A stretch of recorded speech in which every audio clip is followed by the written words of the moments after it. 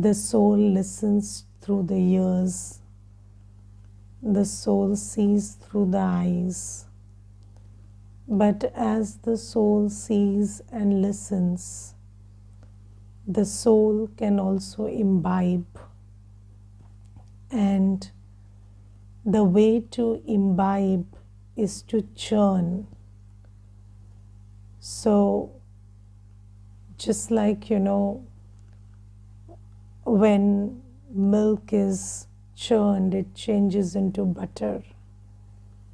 Similarly, when we imbibe knowledge, when we churn on knowledge, then that knowledge becomes a part of me.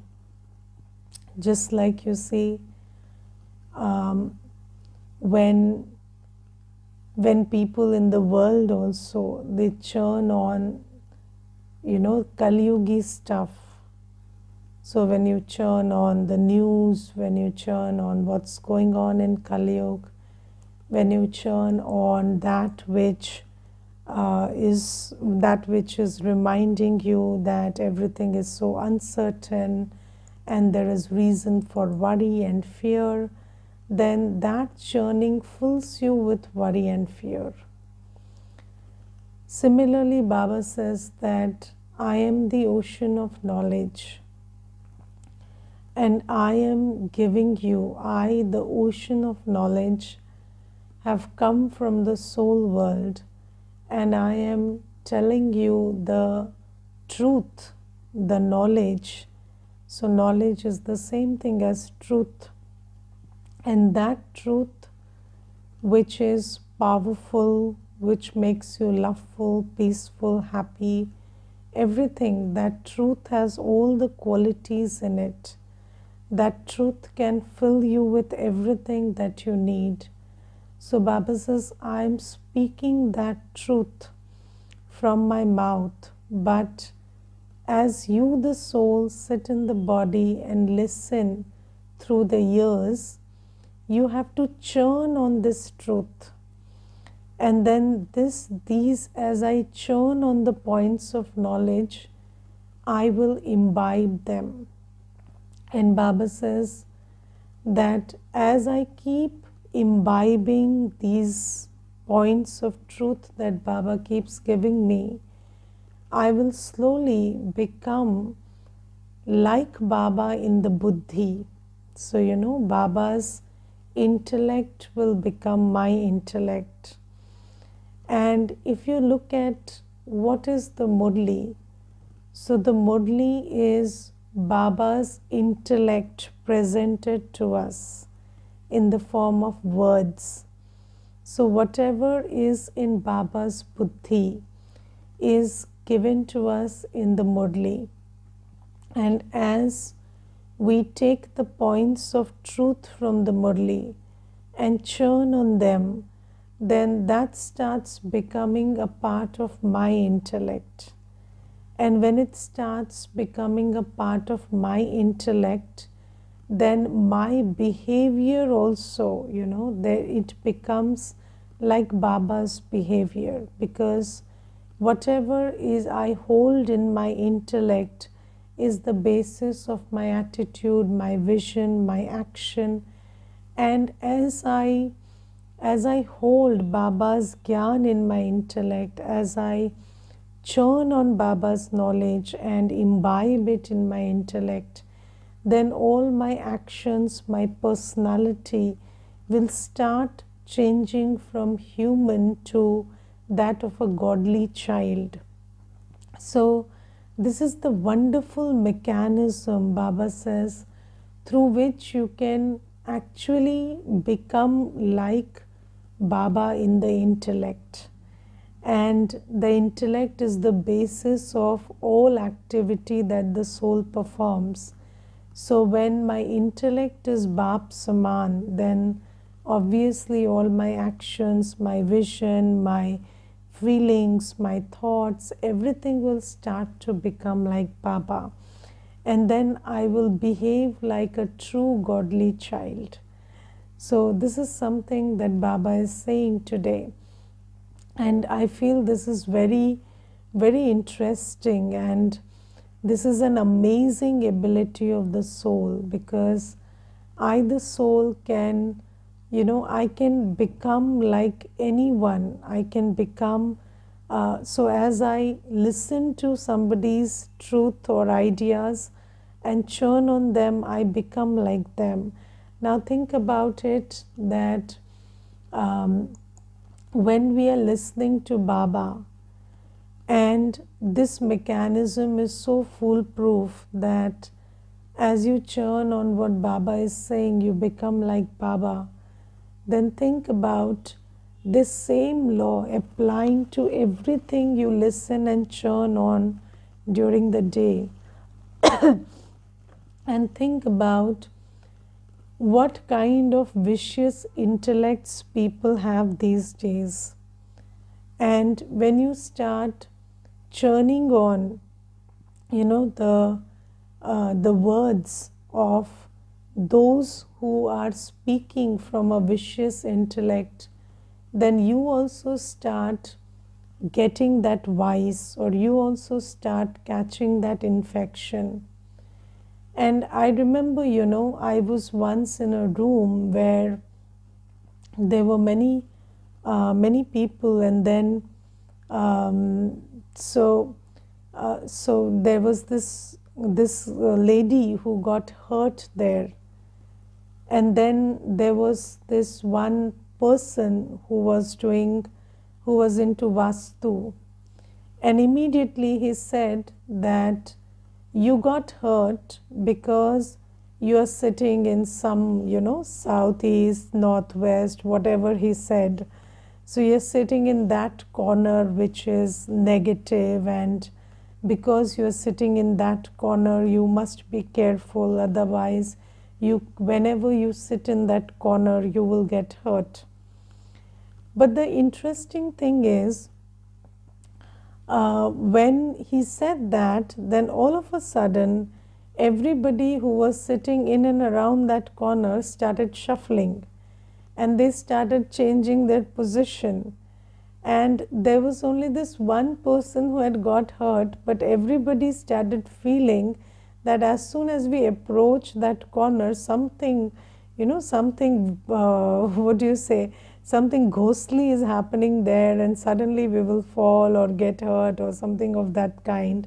And there was this whole environment where this kind of uh, uh, of a magical thinking had taken, you know, become part of everyone's process, thought process, and they all started thinking like that. But the interesting thing is, I have been in that house for so many years and I have sat in that corner for so many times, and it has got nothing to do with the corner. So, this is how you know when you uh, when you are when you live with people who are lustful or fearful or angry or full of complaints or criticism then you know you keep interacting with them and they keep talking or somebody who's full of blind faith also. If you keep company of them and when they are speaking you are also thinking about it you are also churning on it. It is very subtle, but when you listen to something, you know, um, something that is prevalent in the world, it becomes very easy to churn on it. And when you churn on it, then it becomes part of your buddhi. And this is why, you know, we are all, because we are living with each other, we are listening to each other, and this interaction with impure souls is uh, is the cause why we are degrading so so you know collectively we are degrading so fast and baba today tells us that you know baba is not visible to the naked eye and but baba gives something very concrete he gives the murli in the form of words but Baba says the Murli contains ideas, the Murli contains truth. which we don't listen to every day. So, this is a different kind of a, uh, this is something new that we listen. So, if we paid attention to what Baba is saying and if we started churning on it, then slowly, gradually, you know, our thought process will become like Baba. Our actions will become like Baba. Just like Baba has such a big heart and Baba is always benevolent and Baba is always uh, very committed to his task of creating a pure world, we will also have the same kind of zeal and enthusiasm for this kind of work. So, Baba says, You have to keep listening to me, churning on it, and whatever you churn will become part of your buddhi. And now it is the only time in the whole of the kalpa where you have the option to churn on godly truth and become a personality which is similar to God's personality. So Baba says, do that. That's very important. So don't miss out on the churning. Think about what Baba is saying. Think about churn the cycle of 84 births. And today Baba is saying that there are two things mainly that we have to churn about. Um, in today's Murli, Baba is underlining that the knowledge of the seed and the knowledge of the tree. So, the knowledge of the seed is the knowledge of Baba. So, what is Baba like? So, when we churn on what is Baba like, then we are churning on virtues, powers, and elevated actions. Because who is Baba? Baba is the embodiment of all virtues, all powers, and Baba is the one who is performing all elevated actions. So, when we churn on Baba, when we think about Baba, then we are basically imbibing virtues, powers, and elevated actions. And we are becoming capable of that because Baba is the epitome or the embodiment of this. And then Baba says, churn on the tree, so churn on the time, cycle of time. And you see that time and action, time and thought are very connected.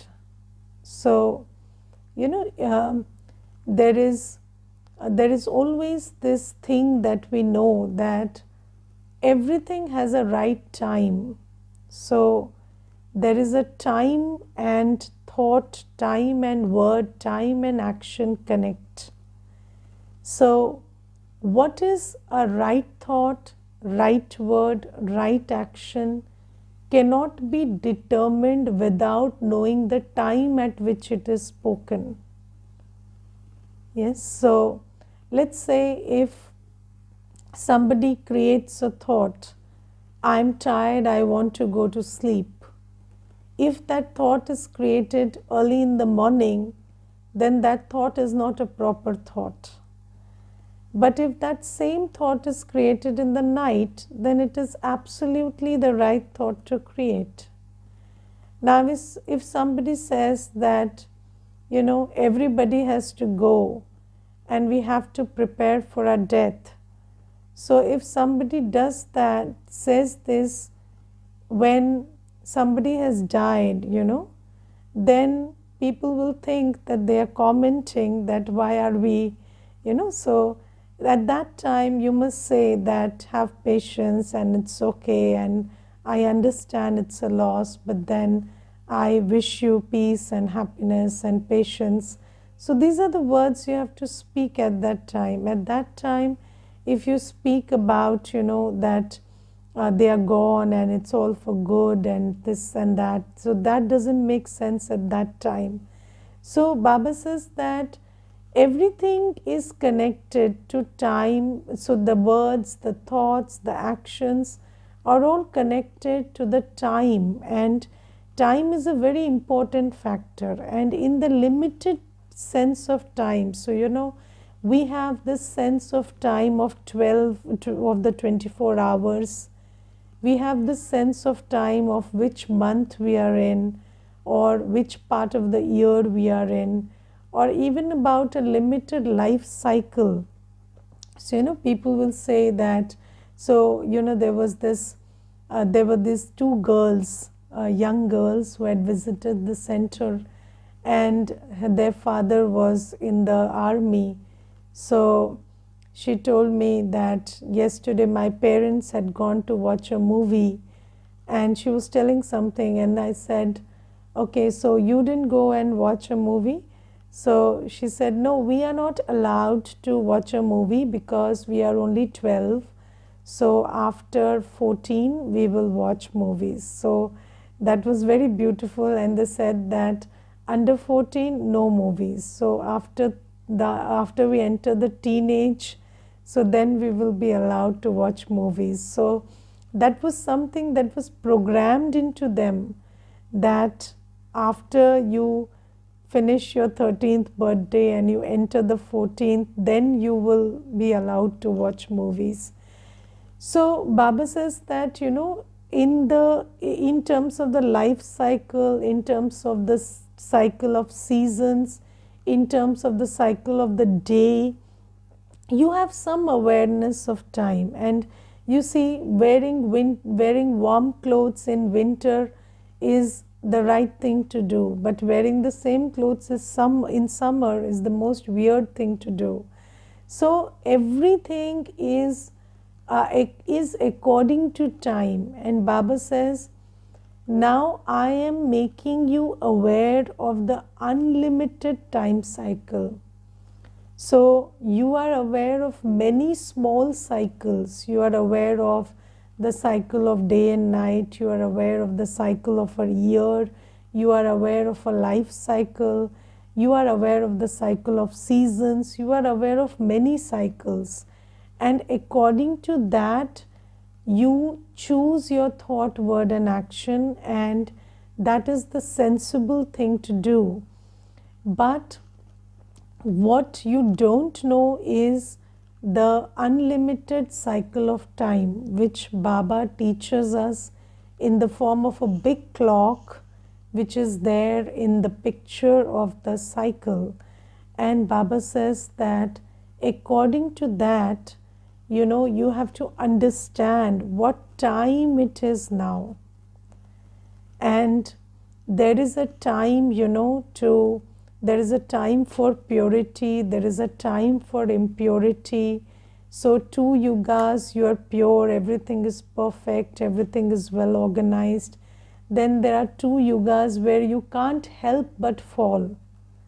So, you know, there the population will increase, the impurity will increase, the chaos will increase, and that is the time. So, that is the time for everything to fall apart, that is the time for everything to decline. But now is the time to go back to the new world. Now is the time to go back home. And you know, sometimes people just come and ask us, you know, um, you people are telling, you people are sharing the knowledge of purity, and you are asking and urging people to be celibate. But if uh, everybody was celibate, then how would you be born? Or, you know, your parents didn't accept celibacy, that's why you were born. So, these kind of logic, you know, they come and share with us. But the interesting thing is, you don't understand that Baba also didn't come and tell at that time. So, at that time, the population could increase. Now we are in a time when there is population explosion, when there are so many problems because of this huge, you know, influx of souls on the planet and this is the time to go back. This is the time to go back to the world of purity. So Baba has come and is saying it. It's not like, so you know, if you so when COVID came, so there, there was a government mandate for social distancing. Now think about it in an ordinary time when it is not COVID, if the government said that you, uh, you know, you follow social distancing, it would look so weird. You would say, why should we stay distant from my own wife, my own child? But at that time, it was the right thing to do.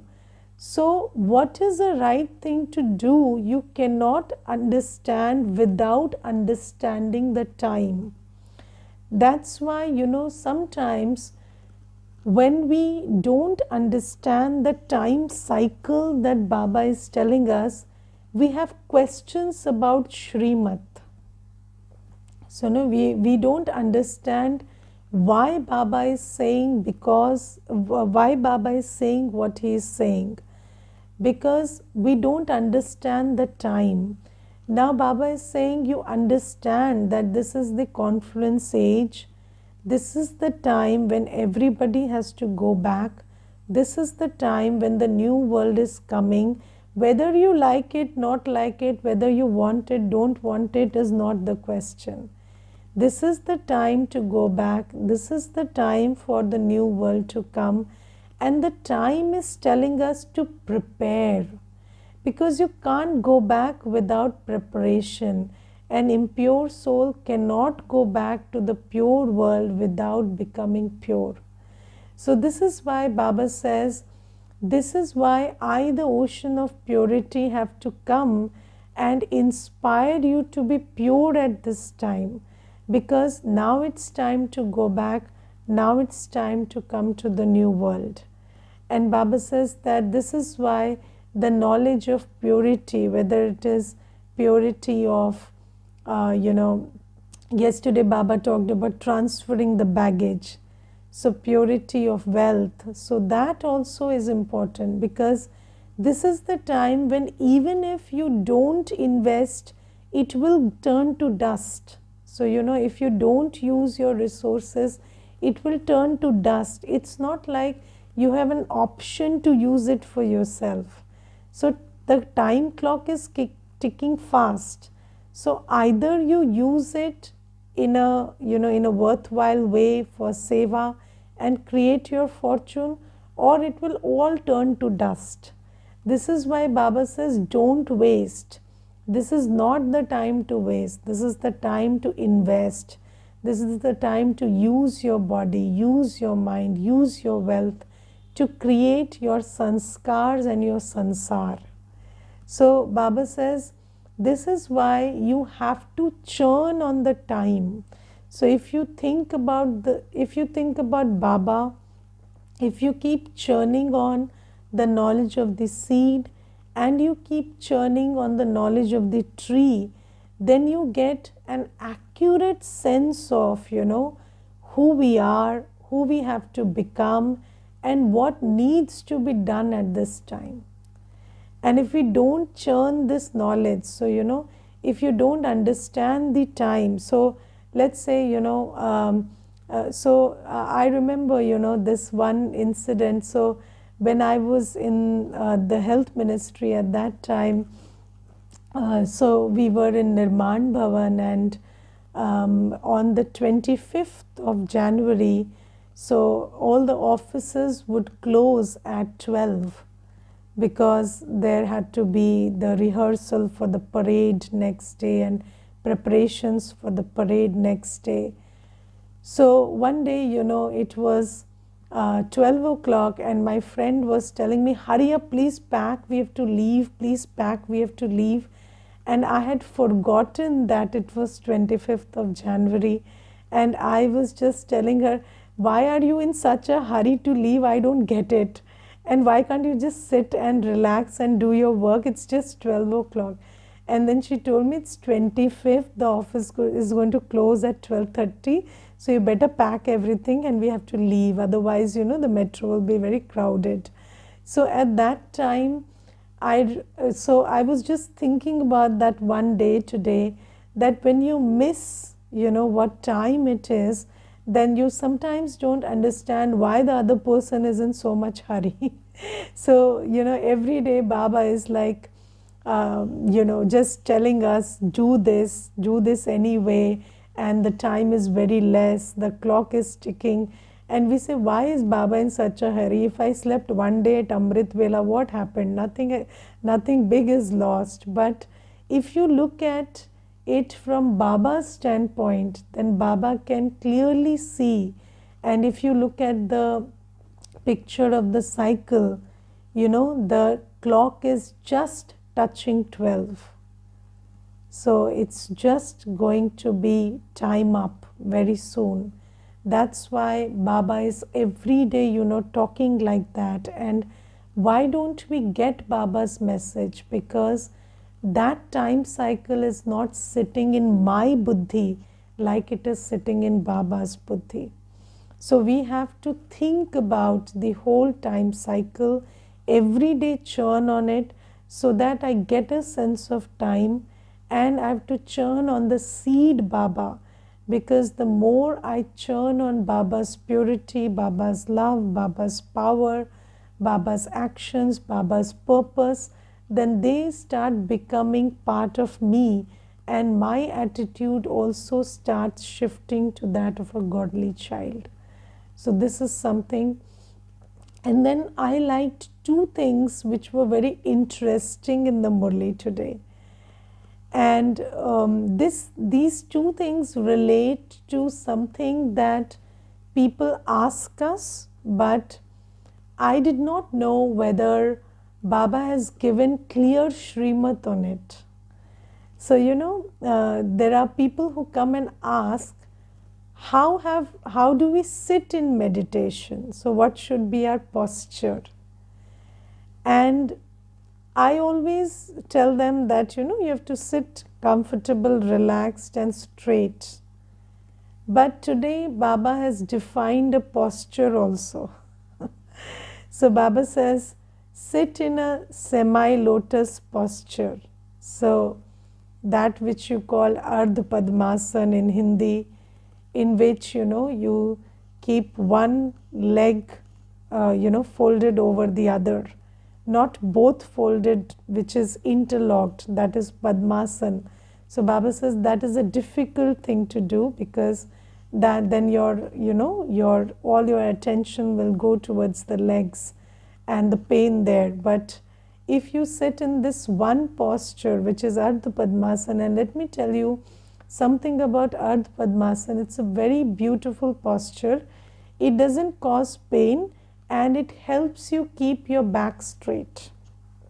So, whenever you are sitting in that posture, your back will be absolutely straight and you will be alert and you will not have any difficulty sitting like that also because it's a very comfortable posture. So, Baba says, um, so there should Baba just Baba doesn't say that it is mandatory or something because Baba has always said in the Murli that if somebody is ill and passing through some sickness, then they can also lie down in the bed and listen to the Murli. That's something different. But Baba says, you know, at least a yogi should look like a yogi. So when you are sitting, if somebody looks at you, then you know, you should look like a Raj Yogi meditating. So, this is a very good way of sitting, and I have always admired the way Baba and Mama sit eh, from the pictures I have seen, and it's a very beautiful. So, you know, uh, Baba also sits in that beautiful straight posture, and Mama also has a very royal, dignified way of sitting in yoga and I once saw a picture which is a very uh, you can find it on Google also. It's it's Mama giving drishti to Prakash Mani Dadi and Prakash Mani Dadi is also sitting in a very graceful, royal, dignified posture and Mama is also sitting in that posture. And Baba says when you are sitting in meditation, sit in a royal posture. Then you know, it looks like a Raj Yogi is sitting. And that's something very beautiful that Baba says today. Another thing, you know, there is, mm, I have always, um, so many a times there have been questions about euthanasia or mercy killing. So, you know, there is this, um, this thing in the world where people think that if somebody is dying, so, and somebody is in pain, then they should be killed so that they don't have to endure too much pain. So that, that's called mercy killing. And in many countries, it is legal also because they think that if somebody is in pain and acute pain and there is no hope of them uh, living beyond that and they have to die from that pain. So if you kill them through some drug or medicine or whatever, then that's kind of a mercy to them because that person will be relieved of the pain. And many a times I have been in situations where people have asked whether you know that is a right thing to do or not. And today in the Murli, Baba has told us that we don't do that. Baba has clarified that even if somebody is in pain, even if somebody is in illness, we will always tell that soul, you know, remember Baba. Because if you are in Sangam Yug and if you remember Baba, then even in those last moments, if, if it is even one day, you are earning one more day of, you know, um, you're having an opportunity of one more day of earning income through remembrance. So Baba says, that's not what we do. So Baba would never say that you die early because you are in too much pain. Because even if you are killed and you don't change that, you know, if you don't absolve your karma, then you will be reborn in pain. So, even in that pain, you can remember Baba and absolve yourself of that karma. So, this is something that uh, Baba has clarified today, and um, I had not heard this clear explanation, although I knew that this is the right thing to do, but uh, this is something that Baba clarifies in the Murli today. And then Baba is talking about many things which are very, very important in the Murli today. And I would re request you to go through the Murli several times because it has jewels like anything today. But today I would talk about the, um, I will talk about the blessing. So in the blessing, Baba says that if you want to become like Baba, then you have to align your thought, word, and action. And for that, you have to finish all desires, all limited desires. And you know, only yesterday, it is very interesting that yesterday I was thinking about this thing that when we listen to Baba's Murli, and we are all good children of Baba. So we are not children who are into hypocrisy or we are just listening to the Murli for the sake of listening to it. No, we intend to uh, put it into action also. But then what happens? What goes wrong? So, you know, when we listen to the Murli, we have these elevated thoughts and we think about, you know, I will uh, we think about being disciplined, we think about being surrendered, we think about doing everything like Baba says. We always plan about doing everything according to Shrimat. But then what happens? Then our buddhi gets lost in limited desires. and you know, this desire, these so many desires are there so, you know, the desire to eat, roam, the desire to change somebody, there is the desire for perfection in this old world, the desire for things, the desire for satisfaction of ego, the desire for material wealth. And the interesting thing is, even if you spend all your life running after these desires, these desires don't get fulfilled. But there is this sanskar of running after desires. And although we understand everything, our buddhi gets um, just what we say bhatakna, you know. Hamari buddhi bhatak jati in these desires. So, you know, we are all, so there was this, uh, there was this um, fictional story we used to watch and listen as a child mungeri lal ke sapne so you know so there is this one person who is sitting and dreaming and then he just you know he sits and dreams i will have a I will do this business, then this will grow, then I'll grow rich, I'll buy a house, I'll do this, that, and the other. And then he ends up breaking a glass and losing what he already has. so it's very similar to that, you know.